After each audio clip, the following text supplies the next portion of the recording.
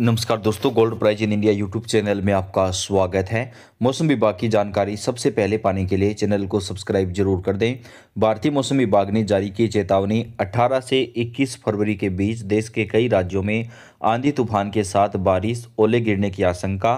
कई राज्यों में मौसम विभाग ने येलो अलर्ट जारी किया है। तो कहाँ कहाँ पर बारिश होगी, कैसा मौसम रहेगा, पूरी जानकारी आपको देंगे तो आपसे रिक्वेस्ट है, वीडियो को पूरा देखिएगा।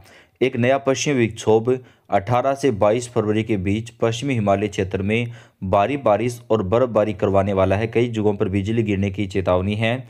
19 से 21 फरवरी के बीच पंजाब, हरियाणा और दिल्ली में तेज़ बारिश के साथ आंधी तूफ़ान आएगा, जबकि 19 और 20 फरवरी के बीच पश्चिमी उत्तर प्रदेश में आंधी के साथ बारिश और ओले गिरने की आशंका है।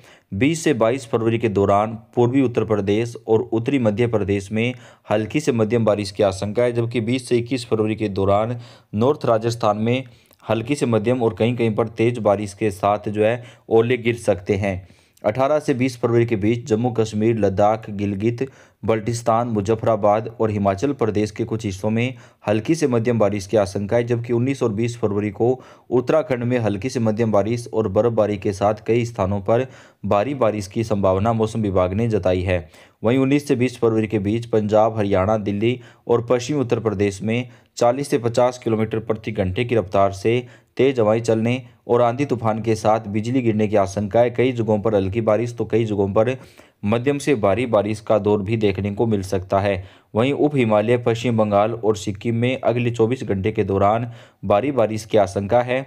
सिक्किम और पूर्वोत्तर भारत में बारिश के साथ तूफ़ान को लेकर भी रेड अलर्ट जारी किया गया है। मौसम विभाग की माने तो 18 फरवरी से लेकर के 22 फरवरी तक भारत के ज़्यादातर राज्यों में हल्की से मध्यम और कहीं कहीं पर तेज़ बारिश का दौर शुरू हो जाएगा, जिसे देखते हुए भारतीय मौसम विभाग ने चेतावनी भी जारी कर दी है। तो आप कौन से राज्य से हैं और आपके राज्य का मौसम कैसा रहा? आप कमेंट करके ज़रूर बताएँ। अपने राज्य और अपने ज़िले का नाम लिख के कमेंट करें।